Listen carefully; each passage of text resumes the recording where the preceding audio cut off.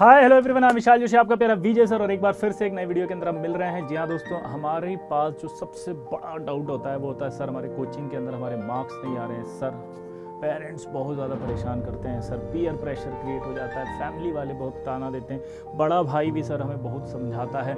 हमारे दोस्त भी समझाते हैं, लेकिन, सर, समस्या ये है कि नंबर कम आ रहे हैं, ये सबको पता है। कम क्यों आ रहे हैं, ये किसी को नहीं पता।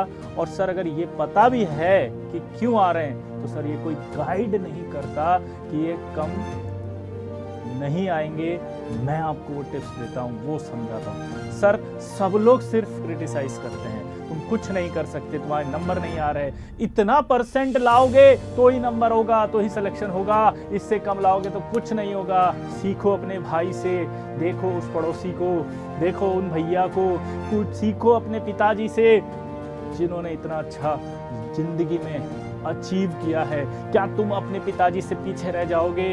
ऐसी कई सारी बातें होंगी जो हमारे मस्तिष्क में चलती रहती है। टीचर तक हमें इतना परेशान कर देते हैं कई बार।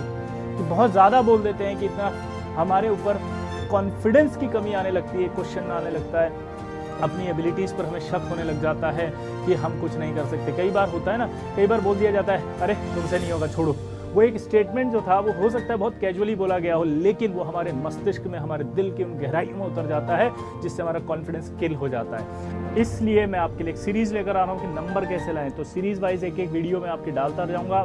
मिस मत करना, बहुत इंपॉर्टेंट सीरीज़ होगी दोस्तों। इसलिए हमारे साथ बने रहना और अपने सारे फ्रेंड्स जितने भी हैं, जो नंबर लाना चाहते हैं आईटी के अंदर, जो अच्छी रैंक लाना चाहते हैं, अपने आप को बचाना चाहते हैं, इस टेंशन से मुक्त होना चाहते हैं, वो तैयार हो जाइए। हर दिन सीरीज़ आएगी, साढ़े नौ बजे ये वीडियो अपलोड हुआ करेंगे, जिन्हें आपको देखना है, इसलिए सब्सक्राइब कर लीजिए इस चैनल को। बहुत ही यूनिक और कस्टमाइज प्रॉब्लम से मैं आपको रूबरू कराऊँगा।